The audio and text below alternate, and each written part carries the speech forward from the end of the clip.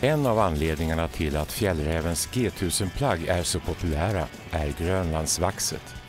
Med hjälp av den gula klossen som bara innehåller naturliga ingredienser kan du förstärka vatten och vindtätheten på utsatta ställen på jackan eller byxan. Det gör plaggen mångsidiga och möjliga att anpassa efter personliga önskemål om ventilation och vattentäthet.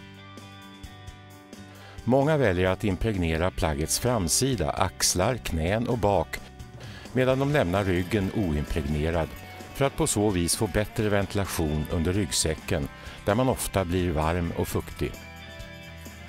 Vill du få ett luftigare och mer ventilerande plagg tvättar du enkelt ur vaxet med ett par omgångar i tvättmaskin. Impregneringen med grönlandsvaxet är enkel och kan göras hemma med strykjärn eller hårtork. Stryk med vaxklossen över tyget i stora jämna drag om du vill impregnera hela plagget. Värm sedan ytan med strykjärnet eller hårtorken så att vaxet smälter in i textilien ordentligt. Upprepa på mindre ytor som du vill ska ha en extra bra impregnering. Utomhus kan du värma över öppen låga, ditt friluftskök, eld eller glöd. Tänk på att inte ha plagget på kroppen när du gör detta utan håll i kanten av ytan du vill värma så riskerar du inte att bränna dig.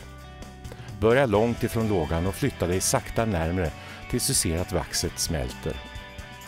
Det här kan du göra om och om igen.